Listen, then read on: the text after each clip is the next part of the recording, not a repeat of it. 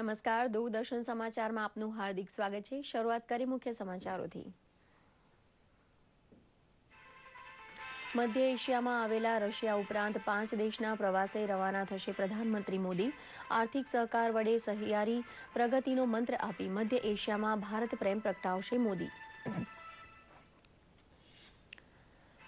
પ્રધાનમંત્રીએ કહ્યું, ડિજિટલ ક્રાંતિના ઉમરે ઉભેલું ભારત સુશાસન માટે ડિજિટલ ટેકનોલોજીનો કરશે ભરપૂર ઉપયોગ.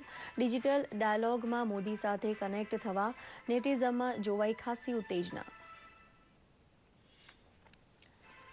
ગતિશીલ ગુજરાતને વિકાસની નવી ઊંચાઈએ લઈ જવાના સંકલ્પ સાથે ચિંતન શિબિરનું થયું સમાપન. પ્રયોગશીલ અને ઉદ્યમી જિલ્લા કલેક્ટર તથા વિકાસ અધિકારીનું કરાયું સન્માન. શંખેશ્વરમાં જૈન શ્રેષ્ઠીઓના દાન વડે બંધાયેલું સામૂહિક આરોગ્ય કેન્દ્ર ખુલ્લું મૂકતા રાજ્યપાલ. ચાલીસ ગામડાને તબીબી સેવા માટેની દાન ઝુંબેશને બિરદાવતા રાજ્યપાલે કહ્યું, નામનામાં નાના જણને મદદગાર બન્યા છે મહાજન. મોદી સરકારે શરૂ કરેલી સામાજિક સુરક્ષાની ત્રણે ત્રણ યોજના હેઠળ પ્રત્યેક નાગરિકને આવરી લેવા ગૃહરાજ્ય મંત્રી હરિભાઈ ચૌધરીએ કરી અપીલ. પાલનપુરમાં યોજાયું ગૃહરાજ્ય મંત્રીનું સન્માન. સમાચાર વિગતવાર જોઈએ.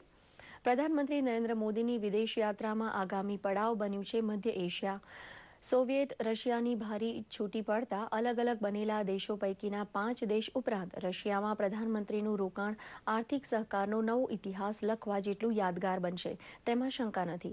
શાસ્ત્રીજીએ અંતિમ શ્વાસ લીધા હતા તે તાશ્કંદ શહેરની મુલાકાત પ્રસંગે ઇતિહાસના વિસરાયેલા અનેક પૃષ્ઠ દેશના માનસ પટલ પર જીવંત થવાના જ છે, તેમાં બેમત નથી. સોમવારથી પ્રધાનમંત્રી નરેન્દ્ર મોદી રશિયા અને મધ્ય એશિયાના પાંચ દેશોના પ્રવાસે જઈ રહ્યા છે. આ પ્રવાસ અગાઉ મોદીએ આશા વ્યક્ત કરી છે કે તેમના આ પ્રવાસ બાદ પાંચ દેશો સાથેના રાજકીય, આર્થિક અને સામાજિક સંબંધો વધુ મજબૂત થશે. તેમણે ટ્વિટરના માધ્યમથી આ પાંચેય દેશોના પ્રવાસ વિશે પોતાના વિચારો રજૂ કર્યા હતા. તેમણે કહ્યું હતું કે તેમના આ પ્રવાસને કારણે બ્રિક્સ દેશો વચ્ચેનો સહયોગ પણ વધુ મજબૂત થશે. પાંચ દિવસના પ્રવાસનો પ્રારંભ ઉઝબેકિસ્તાનથી થશે. તેમણે કહ્યું હતું કે મધ્ય એશિયામાં સૌથી વધુ વસ્તી ધરાવતા આ રાષ્ટ્રમાં ભારતીય ફિલ્મો, કળા અને સંસ્કૃતિ તેમજ સંગીત ઘણા જ લોકપ્રિય છે. મોદીએ ઉમેર્યું હતું કે ઉઝબેકિસ્તાન રેડિયોએ હિન્દી પ્રસારણના પચાસ વર્ષ હાલમાં જ પૂરા કર્યા છે, જે એક મહત્વપૂર્ણ બાબત છે. ઉઝબેકિસ્તાનના તાશ્કંદમાં જ ભારતના લોકલાડીલા પ્રધાનમંત્રી લાલ બહાદુર શાસ્ત્રીનું નિધન થયું હતું. જય જવાન, જય કિસાનનો નારો આપનાર શાસ્ત્રીજીને પ્રધાનમંત્રી શ્રદ્ધાસુમન અર્પણ કરશે. મોદીનો બીજો પડાવ કઝાકિસ્તાન હશે. સાત અને આઠ જુલાઈના રોજ ભારતના મધ્ય એશિયાના સૌથી મોટા વ્યાપારિક ભાગીદાર કઝાકિસ્તાનમાં રોકાણ કરશે. અહીં પણ ભારતીય કળા, સંગીત અને સંસ્કૃતિ પ્રસિદ્ધ છે. હવે અહીં યોગને પણ મહત્વ આપવામાં આવી રહ્યું છે. એકવીસ જૂનના આંતરરાષ્ટ્રીય યોગ દિવસે કઝાકિસ્તાનના લોકોએ જે રીતે યોગમાં ભાગ લીધો તે કાબિલે તારીફ છે. પ્રધાનમંત્રી રશિયાના ઉફામાં યોજાનારા સાતમા બ્રિક્સ સંમેલનમાં ભાગ લેશે. તેમણે ઉમેર્યું હતું કે બ્રાઝિલમાં યોજાયેલા બ્રિક્સ સંમેલનમાં પણ તેમણે બ્રિક્સ દેશો સાથે સફળ ચર્ચા વિચારણા કરી હતી. અહીંથી મોદી અગિયારમી જુલાઈએ તુર્કમેનિસ્તાનમાં જશે. પીવી નરસિંહ રાવના શાસનમાં તેમણે તુર્કમેનિસ્તાનની મુલાકાત લીધી હતી. ત્યારબાદ ભારતીય પ્રધાનમંત્રીની આ પહેલી મુલાકાત હશે.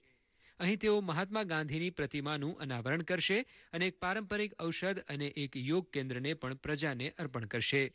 ત્યારબાદ મોદી કિર્ગિસ્તાન જશે, ત્યાં તેઓ એક હોસ્પિટલનું લોકાર્પણ કરશે અને એક ટેલિમેડિસિન સેન્ટરનું પણ ઉદ્ઘાટન કરશે. દૂરદર્શન સમાચાર અમદાવાદ.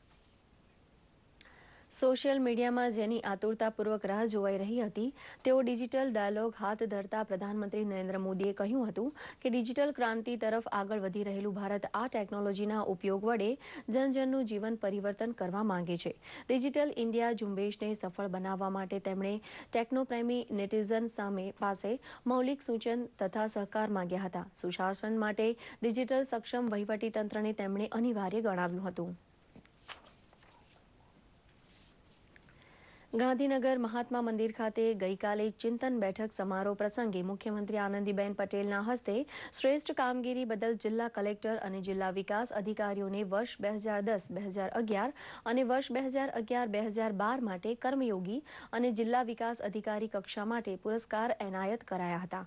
વર્ષ બે હજાર દસ, બે હજાર અગિયાર માટે કર્મયોગી પુરસ્કાર અને જિલ્લા વિકાસ અધિકારી અનુક્રમે શહેરી વિસ્તાર વિજય નહેરા, વડોદરા જિલ્લો બંછાનિધિ પાની જૂનાગઢ જિલ્લો, નવા જિલ્લામાં જીએસ શાહ પોરબંદર જિલ્લો, વિક્રાંત પાંડે, નર્મદા જિલ્લો, આદિજાતિ જિલ્લો, આરજે શાહ, બનાસકાંઠા જિલ્લો, સુશ્રી સંધ્યા ભુલ્લર, પંચમહાલ જિલ્લો, અન્ય જિલ્લાઓમાં અનુપમ સુરેન્દ્રનગર જિલ્લો, રાજકુમાર બેનીવાલ કચ્છ જિલ્લો, વર્ષ બે હજાર અગિયાર, બે હજાર બાર માટે શહેરી વિસ્તાર સંદીપ કુમાર જામનગર જિલ્લો, સુશ્રી રમ્યા મોહન સુરત જિલ્લો નવો જિલ્લામાં જેજી હિંગરાજીયા પાટણ જિલ્લો, સુશ્રી શાલિની અગ્રવાલ આદિજાતિ જિલ્લો, સુશ્રી મનીષા ચંદ્રા પંચમહાલ જિલ્લો, રવિ અરોરા સાંબરકાંઠા જિલ્લો, અન્ય જિલ્લામાં રૂપવંતસિંહ ભરૂચ જિલ્લો, સંદીપ સાંગલે ખેડા જિલ્લોનો સમાવેશ થાય છે. પાટણ જિલ્લામાં નવા રચાયેલા શંખેશ્વર તાલુકાના ચાલીસ ગામોને અવલ પ્રકારની આરોગ્ય સેવા મળી રહે તેવા આધુનિક કક્ષાના સામૂહિક આરોગ્ય કેન્દ્રનો લોકાર્પણ વિધિ રાજ્યપાલ ઓપી કોહલીના વરદ હસ્તે શંખેશ્વર ખાતે ગઈકાલે સંપન્ન થયો હતો.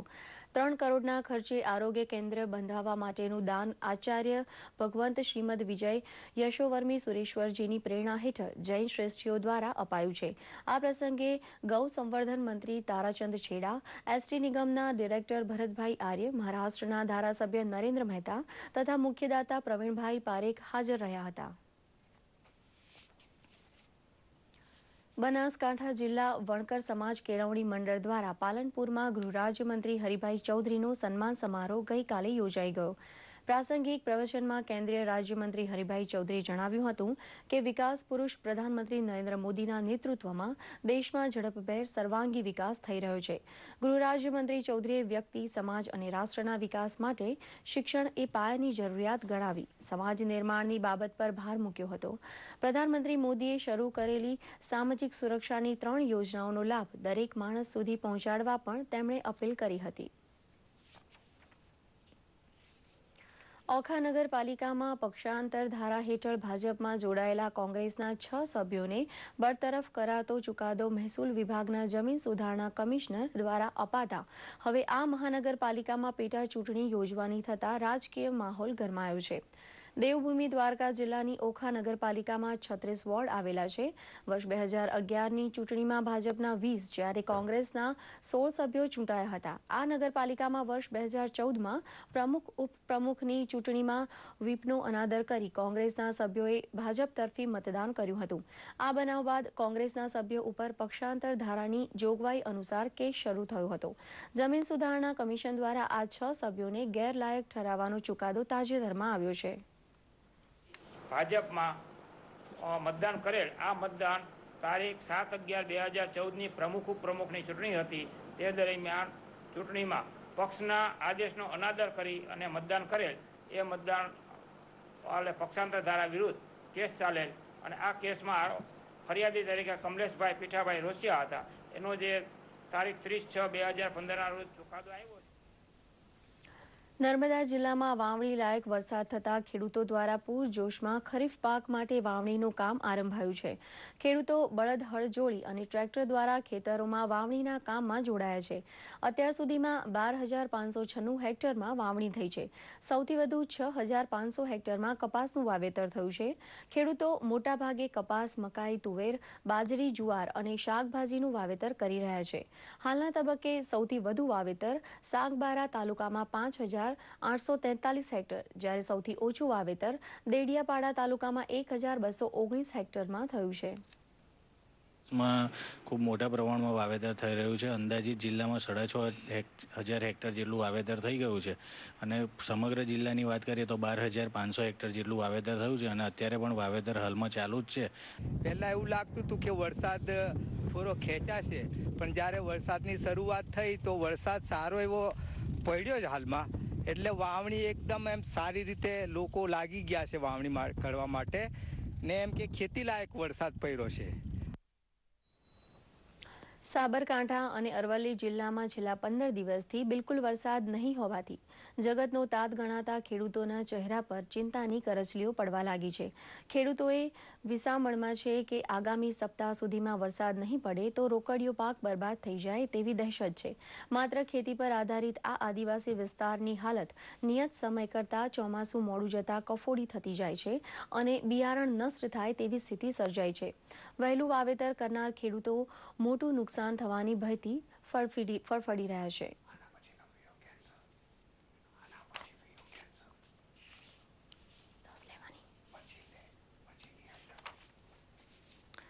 જાણીતા ફિલ્મ મેકર ધીરુ મિસ્ત્રી આજે એકોતેર વર્ષની જૈફ વયે પણ છેલ્લા પચાસ વર્ષથી નિયમિત પોસ્ટકાર્ડ લખવાનો અનોખો શોખ ધરાવે છે.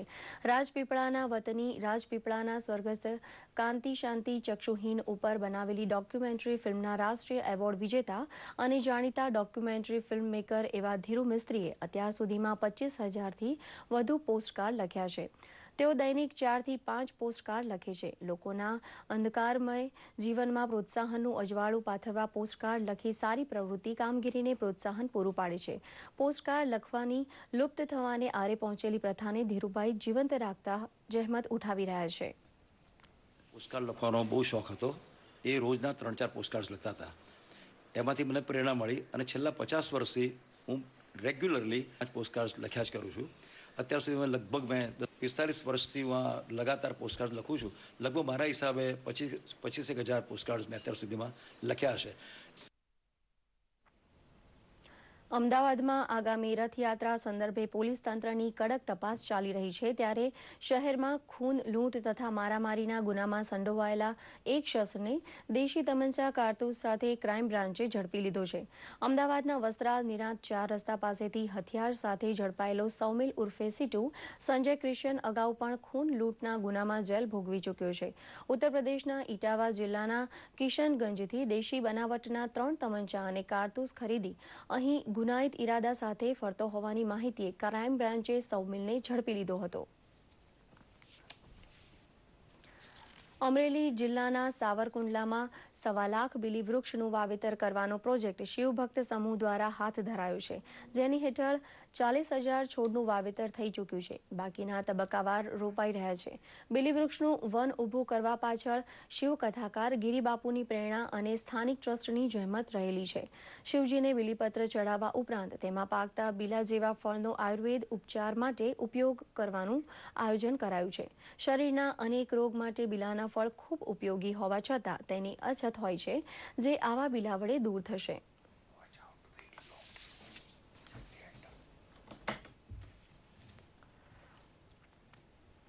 ફ્રાન્સના એક પ્રાણી સંગ્રહાલયમાં સિંહ સાથે નાના બચ્ચા કિલોલ કરી રહ્યા છે. નિહાળીએ તેની રમત.